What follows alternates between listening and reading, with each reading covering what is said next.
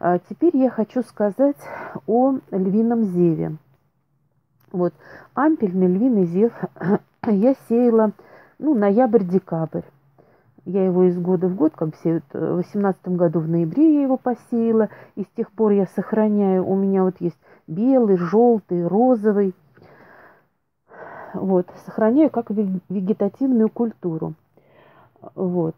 А львиный зев баттерфляй, вот э, львиный зев у нас продается по 30 рублей. И занимать площадь тоже львиным зевом мне э, в теплице не хочется. Львиный зев, вот ампельный, прекрасно сохраняется как многолетнее растение. Не только путем перечеренкования, но и я провела такой эксперимент. Из кашпо вытащила растение и отряхнула у него корневую систему – попыталась сохранить. Значит, э, засыпала вот эти от трех э, корни очищенные от грунта, э, засыпала верховым торфом. И через какое-то время, в феврале, нет, не в феврале, в январе, я высадила снова в кашпо. Что из этого получилось, я вам покажу. Ну вот распаковала все сохраняемые растения, а выжили только львиный зев. Вот у меня три штучки были заложены ради эксперимента. Вот. Здоровые белые корни, листва пошла. Посажу в кашпо вот так вот. Две штуки от одного сорта, бордовые, с узкими листиками. И вот это у меня белый сорт. Хорошая, здоровая корневая система.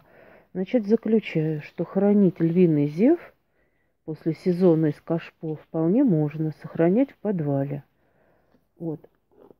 Вербена была тоже при э, распаковке как бы вот с зелеными листиками, но два дня постояли вот в теплице вот эти растения. Что-то они пожухли листики, но корни вроде бы белые. Попробую посадить две штучки в кашпо. Но тут видно, что прихвачена морозцем, вот кора сошла.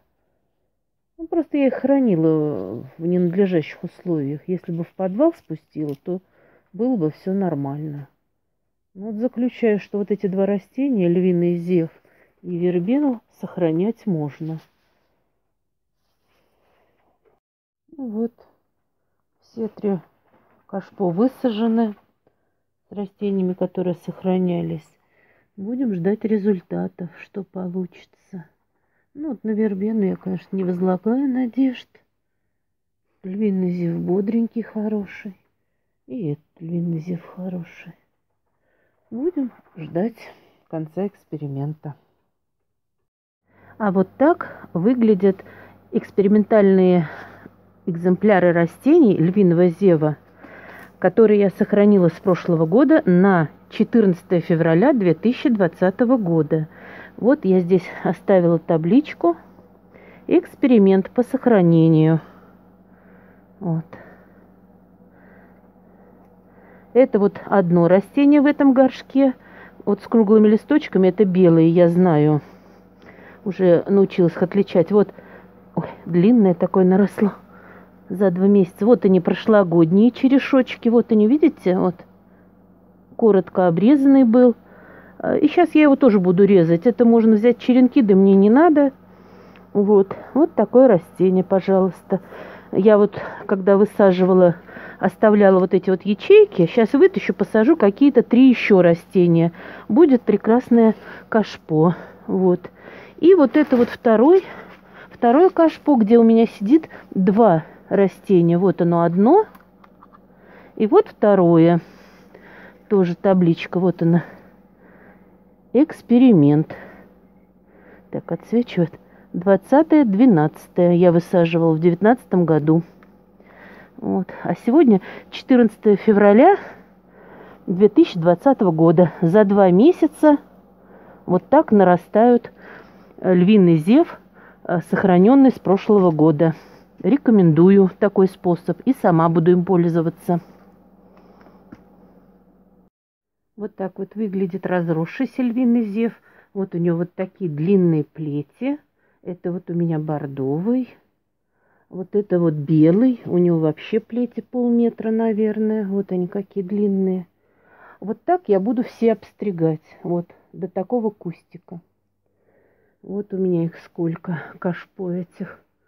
Разрослись все, и все надо стричь. Вот. Вот еще кашпо. Вот эти вот два экспериментальные. Вот они по сохранению. Вот, две штучки.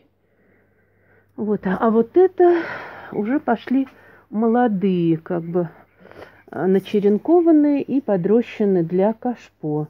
Вот их сейчас буду высаживать в кашпо в композиции, сочетать буду с какими-то другими, например, вот с лобелией, можно сочетать обязательно с брахикомой. Хорошо смотрится. В прошлом году я делала. Вот такие длинные плети. Вы посмотрите. О, полметра, наверное, в горшочке нарос. Все это обстригать сейчас под ежика. Вот такой он львиный зев ампельный.